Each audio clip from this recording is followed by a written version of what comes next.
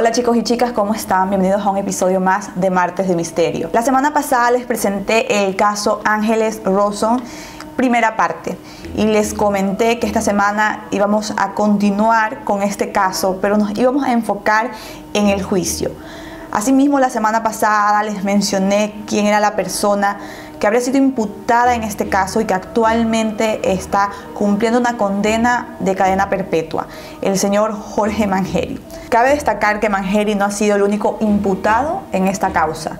El primo de la esposa de Mangeri fue condenado a cuatro años de cárcel por testimonio falso.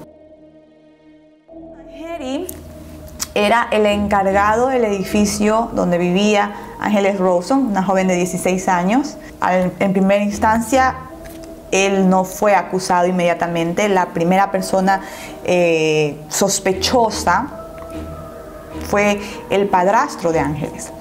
Esta era la persona que realmente, en la que todo el mundo, fiscalía, prensa, ciudadanía entera, eh, vertía las acusaciones. Nadie, nadie se imaginaba que Jorge Mangeri luego resultaría eh, primeramente auto incriminándose en el asesinato de Ángeles Rose. Jorge Mangeri eh, fue llamado a declarar, a dar su testimonio, al igual que todas las personas del edificio, al igual que todos los familiares de Ángeles, porque de cierta manera la fiscalía quería culpar o tenía como principal sospechoso al padrastro Aupatowski, al padrastro de Ángeles Roson.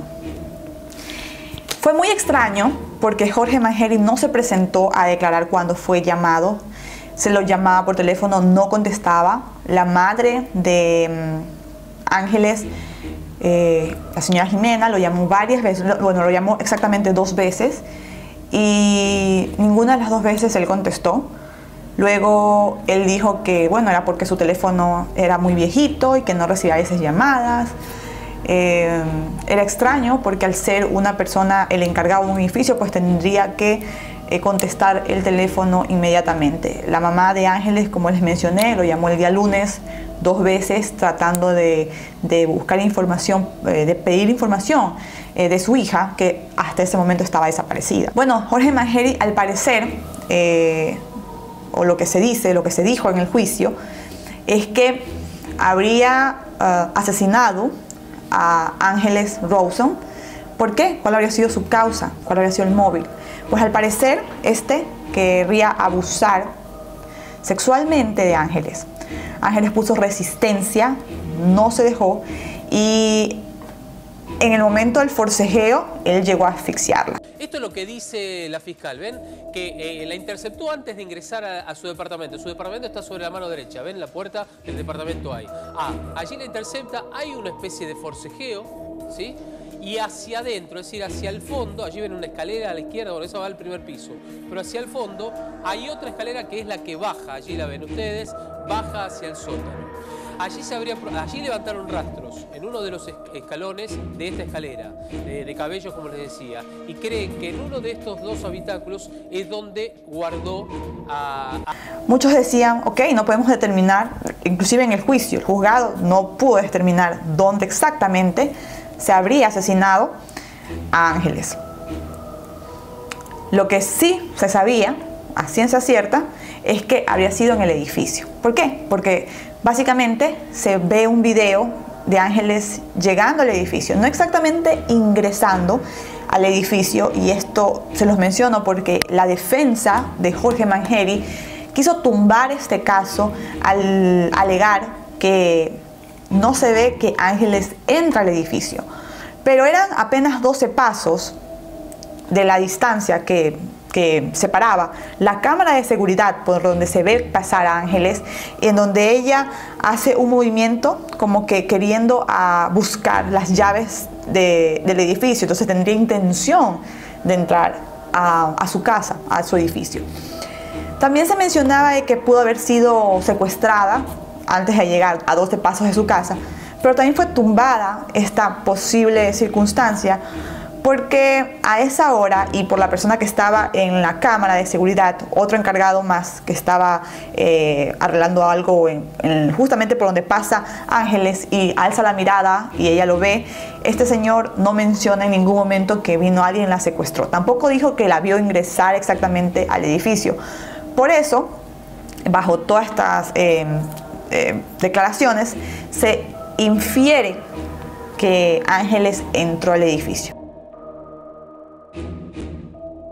Para mí, o sea, este tema aquí nadie lo toca, eh, los periodistas no lo hablan, yo entiendo que es muy delicado eh, porque no se puede de cierta manera acusar a alguien porque no existen las pruebas ni las evidencias.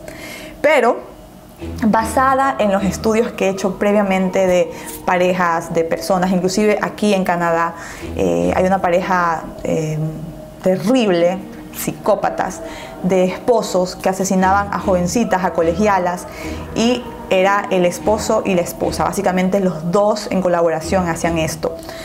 Es un caso en el que estoy trabajando y que próximamente se los voy a traer aquí a Martes de Misterio también. Eh, entonces a mí me entró muchas dudas y, sospechas, al igual que a la población. Yo sé que a más de uno les vino la pregunta de, ¿y si la mujer tiene algo que ver? ¿Si la mujer eh, está detrás de todo esto? Bueno, eh, se hizo la investigación y se determinó, se desvincula el caso a la señora Diana. Eh, no, básicamente no la pueden ubicar en la escena del crimen, ella tiene una coartada. Eh, ella en varias ocasiones ha dicho que el esposo no tiene nada que ver, ella cree en su inocencia. voy a poner por aquí en estos momentos un pequeño, una pequeña entrevista para que ustedes puedan escuchar hablar a la señora Diana. Diana, vos este, obviamente estás convencida de la inocencia de tu marido. Por supuesto. Ahora, ¿por qué no habla? ¿Por qué no, cuenta su versión? Digo, ¿por qué no? Ya contó su versión. No, no contó ninguna versión. ¿Cómo que no? Al juez cuando fue, ¿cómo que no? Declaró lo que, lo que pasó. No, no, no, no aclaró nada. Yo te digo la verdad, no aclaró nada. Yo creo que algo pasó él sabe que algo pasó, no sé qué, pero como que él está... Mi teoría es que él te tiene más miedo a vos que a la... No, pero no es un tema de miedo físico, él tiene miedo de que la verdad te destruya a vos, me parece, en serio te digo. Ah. Sí, lo respeto, su, su opinión, la sé, lo que siempre dice, pero no es así. No es así. No, para nada. Él está ajeno totalmente, no vio nada, absolutamente nada, al contrario. Él, él dice, ojalá hubiera visto aunque sea algo como para decir, porque yo si ustedes escuchan a lo anterior que yo decía del principio, yo decía, eh, si él vio algo, que lo contara, que él no tuviera miedo por mí. Entonces, a mí yo, me, conmovía mucho eso cuando vos decías. Y yo, ratificaba lo que vos decías. Lo que Diana dice, está preparada. Hay que seguir investigando. ¿Cómo? Hay que seguir investigando, hay que investigar ¿Pero más. ¿Vos crees que alguien está investigando algo? A menos que vos tengas investigadores secretos, nadie está investigando nada, ¿eh? Digo, y por eso digo, hay que seguir, hay que investigar más. Pero si vos no, no, das hipótesis, ¿qué van a investigar? ¿Cómo que no? Yo no necesito decirlo mi hipótesis para que el juez investigue. Yo te digo que Yo creo que mucha gente le ha dicho... Eh, eh, ¿Cuál fue em, el trabajo de la defensa? Fue básicamente pedir nulidad al caso. ¿Por qué?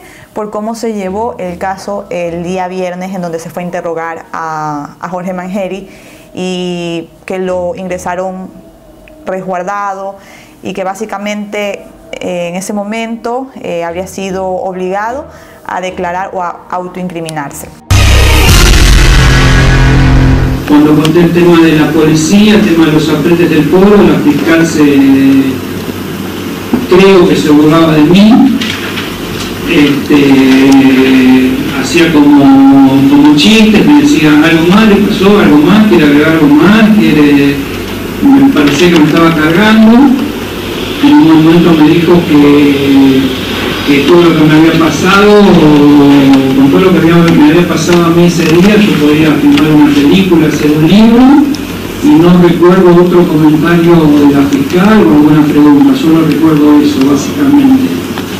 Eh, se retira la fiscal y me deja con este comisario. Yo en todo momento estuve sentado frente a este subcomisario frente a un escritorio eh, estuvo dos o tres horas conmigo, eh, dentro de la oficina, este, sentado, sentado frente a mí, salía, ingresaban una o dos personas, ingresaban nuevamente comisarios, cada una o dos personas que se quedaban salían continuamente. Lo durante toda la, mañana, no sé si dos horas, tres horas aproximadamente.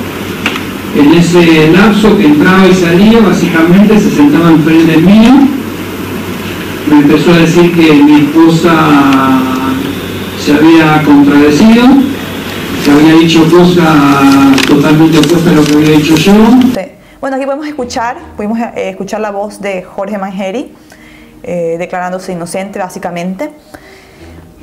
Dentro del juicio, no, la prensa no pudo estar, no pudo grabar el juicio entero, ah, pero varios periodistas que estuvieron dentro del juicio, a pesar de que no pudieron sacar las cámaras para grabar, anotaron las principales preguntas que hizo la querella, o sea, los abogados eh, que acusaban a Jorge Manjeri. Y una de las preguntas, una de las partes más interesantes del juicio, fue cuando el abogado acusador le dice a Manjeri lo siguiente, le dice, eh, señor Jorge Manjeri, levante sus manos. Él las levanta. Unas manos que muchas personas han dicho que son súper grandes y que tranquilamente pudieron haber eh, asfixiado porque eh, básicamente em, Ángeles murió asfixiada. Entonces alza las manos, ¿verdad? y le dice, les dice el abogado, le pregunta a Jorge Manjeri, ¿alguna, ¿alguna vez usted con esas manos ha ahorcado a alguien? Esta fue una de las preguntas más controversiales dentro del juicio. Eh, la respuesta de Jorge Manjeri fue un rotundo no. Otra pregunta que le hizo la parte acusadora a Manjeri directamente fue, usted asesinó a Ángeles. La defensa se levantó y pidió que esta pregunta no fuera tomada en cuenta porque estaba, estaba fuera de lugar. Eh, los jueces determinaron que era cierto, estuvo fuera de lugar. Otra pregunta que también le habría hecho el abogado acusador y llamó mucho la atención de todos los que presenciaron el juicio fue, ¿usted sintió deseos sexuales hacia Rawson? Eh, inmediatamente la cara de Jorge Manjeri cambió, se puso tenso y respondió no, nuevamente. Estas fueron las preguntas más relevantes y controversiales dentro del juicio hechas por el abogado acusador. Y la pregunta que a todos se nos, figura es, ¿Jorge Manjeri actuó solo o ayudado con alguien más. Alguien más fue su cómplice. Eh, ¿De qué hablamos? De una pareja de psicópatas que trabajan juntos y que cumplen sus deseos sexuales básicamente juntos, como les mencioné anteriormente, las parejas estas asesinas. Em, sigamos, vamos a hablar un poco ah, en estos momentos de los abogados, que siento que dentro del juicio los abogados tuvieron muchísimo que ver. Mm, ¿En qué sentido? En el sentido de que siento yo, supieron jugar con la prensa, supieron clavar esa espinita, esa semillita de la duda en la población para que las miradas hacia Jorge Manjeri se desviaran y que muchas personas hasta la actualidad crean que Manjeri es inocente. Y a pesar de que todas las pruebas lo acusan, pruebas circunstanciales, ustedes me dirán, pero la prueba de ADN, si las tumbamos la prueba de ADN, ¿qué queda? Quedan muchas cosas, muchas cosas que he, ido leyendo, eh, sospechosas, cosas que definitivamente em, dan a notar que este señor libre de pecado no está. Entonces, vamos en estos momentos a hablar de los abogados. Quiero, quiero ponerles un pequeño, eh, una pequeña entrevista de uno de los abogados, de Perry específicamente, de Pierry. Vamos a escucharlo a la entrevista de Pierri. Eh, básicamente él pasó por la mayoría de las cadenas de televisión hablando de este caso. Y vamos a poner uno de ellos. La otra la que vos decís. La niña llegó y vio algo que no tenía que ver. Es la que yo digo o la que mucha gente dice, porque es un caso que todo el mundo opina, ¿no? Este, que la nena puede haber visto algo que mm, no, tenía que ver. O no... A mí me parece que es determinante para saber a qué tipo de criminal nos enfrentamos, poder determinar científicamente y claramente cuáles son las heridas en vida y cuáles son las lesiones después de la muerte. Podemos haber identificado la bestia, la bestia que llevó a cabo esta faena criminal. ¿Entendés? Para mí eso es fundamental, por eso hoy tuvimos una reunión de peritos que duró más de tres horas por la mañana y yo decía, por favor. Determinen cuáles son Pero vos conocés la otra verdad. No, yo, hay otra verdad. yo conozco otra versión irresponsable que se construyó en el ámbito de una investigación que es absolutamente... Voy a ponerle pausa en estos momentos a esa entrevista. Aquí podemos escuchar a, Pierri. Él fue, como ustedes lo pueden escuchar, el primer eh, abogado, primera defensa de, Jorge Mangeri. Más adelante eh, se cambió de defensa. Y les voy a contar un, Ah, dato curioso y es el siguiente. Dentro del juicio de Jorge Mangeri, este habría, bueno, no dijo específicamente que, que Pierri, dijo mis abogados anteriores, pero todos sabemos quién, quiénes eran los abogados anteriores de, este señor. Eh, dijo, me obligaron a contar la historia de, de los clavitos. Yo me quedé los clavitos me fui a averiguar la historia de los clavitos que más adelante también les voy a hablar. Básicamente eh, lo que trataba de decir Jorge Mangeri era que sus abogados le habían dicho, le habían sugerido que cambiara la historia de, de cuando él trató de ya no culpar a los policías, porque él al principio estaba culpando a los policías de que le habrían propinado unas golpizas y luego eh, los abogados le han dicho, mejor no te, no te metas con la policía, ya, déjalos al lado, di que te caíste, di que estuviste en un accidente laboral y niega que lo que, lo que declaraste anteriormente no vale. Básicamente así comenzaron muchas, eh, como que borro lo que declaré antes, digo ahora una cosa nueva. Se sabe, se sabe que los abogados defensores tratan de ganar los juicios, de liberar a sus clientes. Eh, yo respeto el trabajo de los abogados, tanto defensores como acusadores, los respeto. Eh, que vayan dentro de una ética de la moral, pues eso es muy aparte, ¿no? Pero bueno, se respeta el trabajo profesional de, cada, de cada, persona.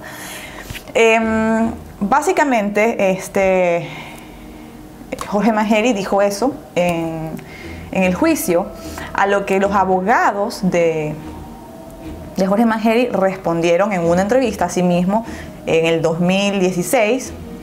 Fueron, se le hizo una entrevista a uno de los abogados, el que trabajó justo, junto con Pierre, y este mencionaba que nunca le dijeron a Jorge Mangeli que mintiera, que esto aquí no, no era verdad básicamente. El 20 de noviembre del 2013, Mangeli dijo que, ok, los arañazos a qué se debían.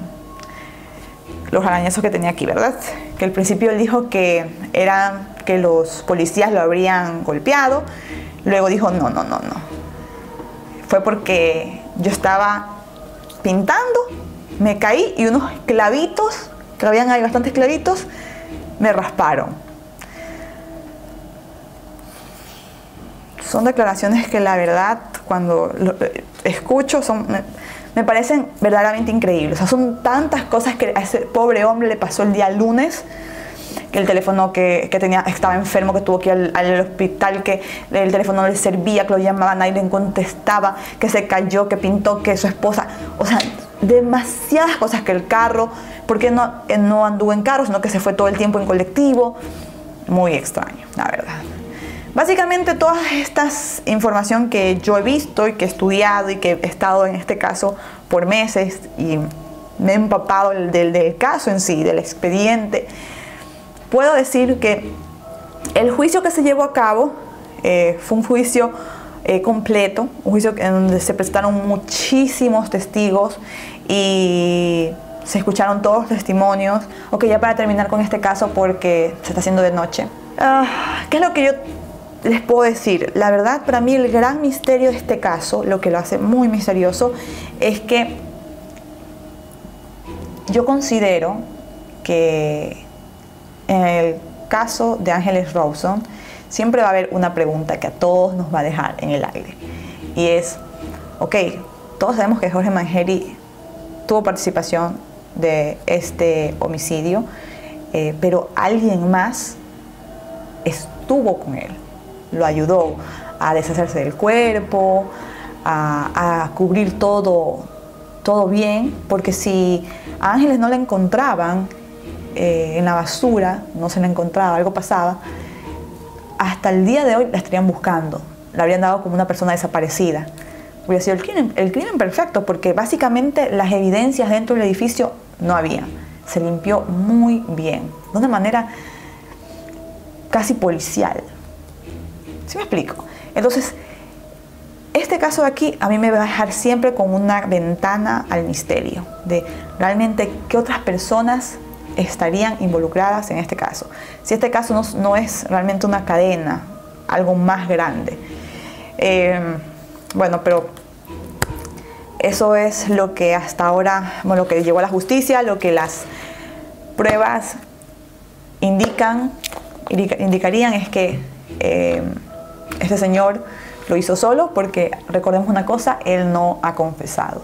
Entonces, si él no confiesa, realmente no podemos eh, nunca aclarar el misterio, lo que realmente pasó aquel día. Espero que este video les haya parecido eh, informativo. Les voy a dejar toda, toda la información eh, que he conseguido de este caso. Se las voy a dejar en la cajita de descripciones, así ustedes pueden ver todas las entrevistas con más detalles. Por aquí les voy a dejar estos videos recomendados, mi canal de blogs y mis redes sociales. Nos vemos en el siguiente martes de misterio. Eh, recuerden, la verdad siempre sale a la luz. Nos vemos en el siguiente martes de misterio. Chao.